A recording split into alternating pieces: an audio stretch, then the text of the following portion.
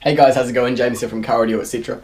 Uh, in today's video, or in this video, I'm just going to be giving you guys a bit of a hands-on look and my take on the speakers that I'm going to be putting in my Legacy, my Project Legacy, which I've been working on for a while now. It's about to have its sound system all installed, and so I wanted to give you guys a close-up look at the speakers that I'm doing to it, basically. So I'm gonna, I've got the GoPro on the head strap mount at the moment. I'm gonna chuck you up there and give you a bit of POV action. Okay, so I just finished filming the video for the Rockford Fosgate stuff. If you want to see that stuff up close, click the little link up here in the right hand corner. But Focal stuff now. Let's get this out of the way. So, you can see already what I've got. So, these are the front speakers and back speakers that are going into the Legacy Focal PS165FX uh, 6.5 inch component set for the front. Um, just the two ways, I would have liked to have done the three ways, but there's really nowhere to, you know, sort of separate out that third woofer anywhere. So I'm just doing the two ways, mounting in all their factory locations, and then the coaxial versions in the back. I really like these speakers, the flax construction, um, they sound amazing. I've installed quite a few of them into customers' cars, and I'm a huge fan. And also of the build quality of Focal stuff just as a whole. So when you open up these boxes for the Focal PS165FX, I did already do an unboxing video of these a while back, but this I suppose is like an updated version. I know a bit more about them now, and I'm probably a bit better at filming things nowadays anyway. So open up the box, and we've got this little red tag thing here. At first I thought it was like something that had the serial number on it to provide some authenticity, but I've since sort of figured out that it's actually just there as a wee bit of, I don't know, it's just like a branding thing. It doesn't really mean anything. There's nothing important on it. It's just a, you know, cute little red bit of plastic that says Focal on it. I've also got double-sided taped to the cardboard here a, a bag with our manual, with our like manual for telling you how to mount the speakers and stuff, and a back-sided sticker. These stickers are quite cool because you stick them on the inside of the window to be viewed from the outside, so that's something interesting that not everyone else does. And then there we go. Grills. I won't be using these because my speakers are going to be mounted in the factory locations, but that's what the grills look like anyway. Just uh, hexagonal metal pattern stuff. They're quite a nice feeling. They're like soft touch finished. And they just pop apart like this. The metal just pops out. And then you've got a foam ring for mounting the speaker on and a plastic base if you want to use these, but I won't be. So, so then we've got our two woofers, two crossovers, tweeters, and a couple of mounting uh, tweeter mounting pots for different applications, and then some hardware. Nothing else under the plastic, I won't bother getting that out. But let's uh, take a closer look, a closer look at the woofers. So this is the, so in the FX range, a couple of the big differences, people always ask me about the differences, about the differences between the uh, FX and the F range components. One of the biggest things you notice with the FX is that they have these phase domes here in the middle and basically that just prevents oh what's it called I think it prevents beaming is what it's called where with the where basically it prevents a standing wave being able to come off this speaker somehow oh god I can't remember guys sorry all I know is that there's a phase dome and I'm pretty sure it prevents beaming coming off the speaker but anyway the speaker itself is absolutely amazing build quality. This is why I'm all of a sudden, or ever since I've seen them, been a huge fan of Focal. Like, cast basket, not pressed, heavy duty.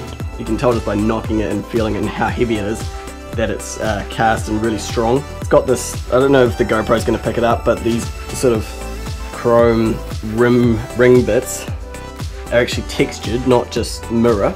And it's got made in France etched into that one. And then I'm also not sure if the GoPro's going to pick it up, but stamped into the rubber membrane here, where the membrane meets the cone, is the serial number, the model number of the speaker, and the serial number for the speaker on the membrane. Something else I really like about these speakers is their terminals. There's nothing I hate more than trying to plug a crimp onto a speaker and like that crimp either just buckling or the little piece of board that it's sitting on just bending. These are thick pieces of steel, I'm pretty sure by the look of it, on like like mounted into a piece of that's ABS plastic which has been screwed to the metal I can see.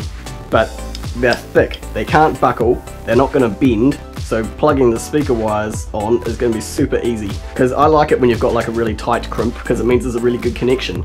But what that can mean with cheaper speakers is that rather than this crimp actually going on, it just bends the whole speaker, or bends the whole terminal. Fabian wires are a wee bit thin, I think, for what the speaker could have gotten away with. Like this speaker is quite a nice one, it handles 80 to 100 watts RMS, and you probably could have gotten away with putting some thicker Fabian wires in there, but I've heard heaps of power come out of these things in the past, so I'm sure they're fine. Quite a nice big uh, chrome back on the back of it there. That's that's hard metal, that's not a dust cover. So that's the woofer. They're really, really nice and they sound amazing.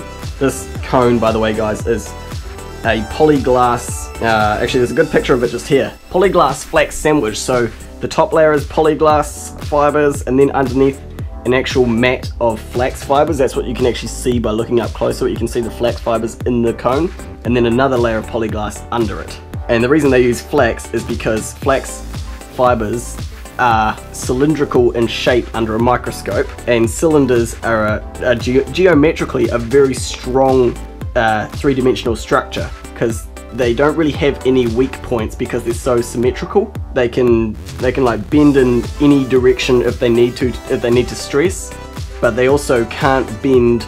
You can't bend a straw like this because you can you can bend a straw that way or that way, whatever way you want, but you can't bend it that way because it simply won't allow because A will be pushing itself into itself that way and stretching it here just won't allow it.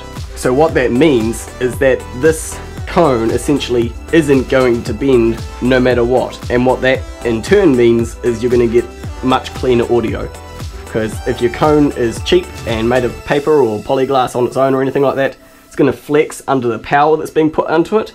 But if it can't flex, the sound coming off it's going to be much more accurate to the sound that actually it goes into the speaker. Basically, overall it means better sound quality. So that's a really long-winded way of explaining it. And that's why these flax fibers a lot of people will say, no man, don't go for the Flax, go for the K2 series.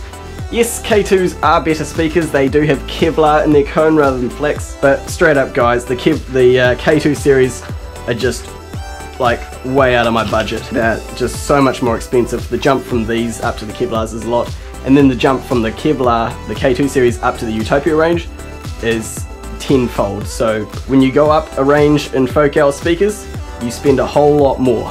It's not like Pioneer or Alpine or something where you can spend like another couple hundred bucks or another 100 bucks to get some better speakers, you have to spend potentially up to another five to thousand 500 bucks to another thousand bucks just to go up a range. So that's why I'm going for these ones. Uh, the crossovers, let's have a look at them. Nice. So, we've got eight terminals along the front, I'll explain that in a minute. But basically, overall look of it, you can tell how big it is just by looking at my hands. They are reasonable size, so I know where I'm going to put these in the car already, but generally lot of cars you have to find a good place to put them. Uh, this whole material, all the black that you see is like nice soft touch sort of plastic rubberized stuff. It, it's obviously you don't need that on a crossover but it's just really nice to sort of touch and feel and make gives you confidence in the product. The fact that they're willing to put that sort of detail into something which doesn't really need to be aesthetically good looking since it often gets hidden. So yeah, I really like these crossovers. Uh, it says 12 to 18 dB octave crossover. I guess it says that because it is adjustable. I'll show you the switches inside of it in a minute. On the front here, we've got two inputs and two outputs. Tweeter negative, woofer negative, tweeter positive, woofer positive inputs. The reason, and then obviously tweeter and woofer outputs on the right hand side, but the reason they have two inputs is because they have made it so that you can actually buy amp these speakers. So you can use two, a channel for the tweeter out of an amplifier and a channel for the woofer. And if you don't have the a processor in your car or something to set the crossovers accurately, you can still use this passive crossover in line to do that work for you. So basically it means you can put more power into each individual tweeter and woofer, but still use the, you know, the passive crossover to protect them, or protect the tweeter from doing bass and prevent the woofer from doing unnecessary treble. The way they have it set up at the moment is that, I don't know if you guys can see, but there's these little uh, U-bends of metal going from the tweeter side to the woofer side on the negative and positives. The reason for that is because when you're not biamping it, you want those to be linked. But if you are biamping it, you just simply take those U metal bits out and put separate channels into them. But I'll, uh, I'll open this up and show you what's on the inside of it, if I can find a screwdriver. Yep, there we go, got a screwdriver. Let's uh, have a look on the inside of this thing. It's only two screws. That cover just comes off, and then we've got, I think this even, yep, it completely comes off that base plate as well. So this is the whole crossover unit. We got, now they don't say really what they do. We got two switches in here, two levels of adjustability. This one says above it TW, so obviously that's for the tweeter. And then it's got zero, it's got zero and minus three dB. You can turn your tweeter down by three decibels if you want to like if you want to manually permanently do that in your crossover. You can attenuate it by three decibels, and then it's got for the mid, it's got flat and high. Now I'm pretty sure, I don't know if the manual says it, but I'm pretty sure what that does is it slightly alters the EQ curve coming out of the woofer. And I think having it set to high means that higher frequencies come out of the woofer than if you had it set to flat. So it basically brings the whole woofer's range up a wee bit. I'm pretty sure high is the default setting. Now I can't remember what I had it on. I'm gonna have to check the other one. And here's these little U metal bits I was talking about before. So if I loosen off two of these terminals, if you are bi-amping it, you just take this little bit of metal out and put separate speaker wires in each of those inputs. But if you're not bi-amping, this little piece bridges it out. Now I won't try and guess at what all this other stuff in the crossover does, but obviously we've got one, two, three, four, wait, we got three horizontal coils here, a couple of vertical coils, and then three big resistors. Generally, from experience, the resistors are to do with the uh, tweeter and the coils are to do with the woofer, but I could definitely be wrong. Oh, actually, my bad, sorry, these big things are capacitors. These two are coils. Obviously, the white things are resistors, but these lying down cylinders are capacitors. And it says up there in the top corner, PS165FX. There's the model number for the actual crossover on its own down here, KIF I1079. Pretty sure that's what that is. QC Pass 2015. So yeah, that's the look at the inside of the crossover. I'll uh, quickly chuck it back together now. There we go, that's that back together. Put it in its nice protective little sleeping bag here. And fold that over there. Okay, that's the crossovers. Now let's have a look at one of the tweeters. So one thing I do love about these tweeters is the fact that they come with nice, thick speaker wires coming off them, nicely soldered on, big thick solder joints. This is like 16 gauge speaker wire, which is really thick for a tweeter, but I like that. It, it displays confidence in power handling. So this little metal mesh grill thing does just pop off with a wee bit of wiggling. Oh, there we go. I'm still not 100% sure what this little dome in the middle does. At first I thought maybe it was a maximum excursion preventer. Some, I don't know, it could be either that or it could be to, to it could be magnetic to like hold the tweeter on there. Like, cause if I just go like this, see it, it's like magnetic. So if that's a magnet, this is an aluminium magnesium dome, Possibly it magnetizes together. Wonder if there's a way to tell. Have I got any other metal things? The knife is magnetic. No, it's not magnetic. I don't know what that little dome is there for. Anyway, yeah, inverted dome magnesium, uh, not sorry, not beryllium. I can't afford that. Inverted dome magnesium aluminium tweeter. The reason for the inverted dome, I could ramble on about this for ages as well if I wanted, is structurally, an inverted dome can be supported and pressured a lot more than a outward verted dome because if you push on the center of, an out, of a convex dome it can flex like a piece of paper. But if you push at two points underneath an inverted dome flexing is much less as I understand it is the way it works. So I'm pretty sure that's the reason for it.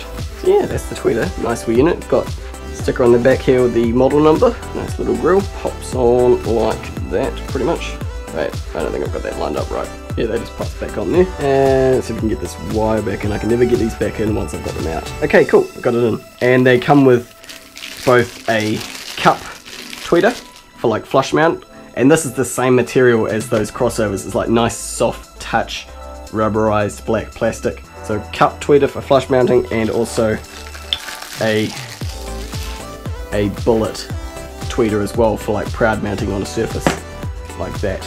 And then some mounting hardware in there the way the tweeter actually goes in here is it slots in and then in this bag there's a cool little W-shaped key there which you put on the tweeter and turn it and then the tweeter locks into place in the cup and then you put the little metal grill back on it. Quite cool wee mounting system.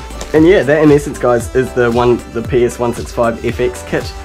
Totally unboxed and looked at. So I'll put this back on here. If I can get it back together. Like that. Close the lid. So yeah, that's my front speakers looked at. These speakers sound amazing. They've got the logo here for being made in France, handmade in France. And these speakers also won some awards, same ESA awards at like 2013, 2014, some years ago now, but still great speakers. And then the back ones essentially are the exact same thing construction wise, so I won't show you too much of these, but basically they're the coaxial version where the tweeter is mounted on a post in the center here as opposed to being on a separate crossover. The back of them isn't the same, it's got like a black finish here with a little peel offable film if you want, um, rather than a chrome dome but essentially the exact same speaker. Membrane, made in France, inverted dome tweeter, flax cone, really nice construction, cast iron. I don't know what they're made of to be honest. Is it cast iron? I just know that they're heavy and they feel strong as fuck. The grills are underneath for these ones by the way. So yeah, I'm super excited to get these in. Power wise, I think these are all rated around about 80 watts RMS. That amplifier puts out 100 watts RMS per channel, so they're definitely gonna have some nice power to them. Uh, let's have a look here. Okay, so these ones 70 watts RMS, 140 watts peak, and the components 80 watts RMS and 160 watts peak. Obviously, all 4 ohms uh, sensitivity. Is sensitivity written on them anywhere? Oh, on the back here, this might do it. 91.9 decibels on the coaxials and 92.2 decibels on the components. That's awesome. Those are highly sensitive. Wicked. So yeah, that's my Focal gear, guys. It's going to be going in the Project Legacy. If you want to see how all that sounds and how it goes, make sure you subscribe to my channel so you can see it when it all goes in sometime. Hopefully in the next coming weeks I'll get this done. So thanks for watching this video guys. I will put the links at the end of this video in the card for the unboxing of the Rockford Fosgate gear that I've got there and also the other video where I show you generally what the hell is all this car audio gear sitting in the corner here because there's a few more bits and bobs I wanted to show you and also updates for what I'm doing with the Legacy. So those will be at the end. Thanks for watching this video guys. Hope you enjoyed it. Choose to be happy and I'll catch you in my next video. Ka kite anō.